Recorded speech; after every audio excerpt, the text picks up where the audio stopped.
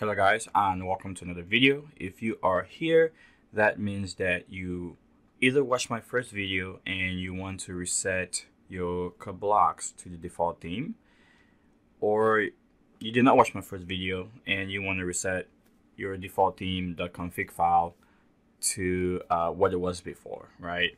And all right, so if you went ahead and watched my first video, if you go under settings and you go under editors, right?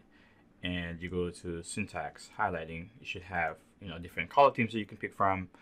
Obviously, you want to go ahead and reset. All right. So the easiest way to reset, right, is to uninstall code blocks and then delete the code blocks folder from app data. Okay. And then you have to reinstall code blocks again. All right. So what we're going to do is uh, just close code blocks and we're going to go to the uh, control panel. So just type in control panel. And what we're going to do is we're going to uninstall uh, code blocks. So click there, hit uninstall and hit yes. And just uh, follow the, the regular prompts. So just hit uninstall and it's going to go ahead and do its thing. All right, so once it's done, we can close it.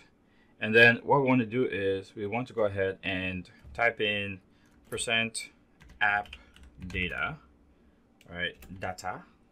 And then uh, we're going to hit percent again after and hit enter. And what this is going to do is it's going to go ahead and bring up your roaming folder. When it does that, go ahead and delete the code blocks folder here. So just hit that, delete, and you're good to go. Now, what we're going to do is reinstall code block. So I already went ahead and downloaded the uh, exe file. So I'm going to go ahead and double click on it to launch. Hit yes to install.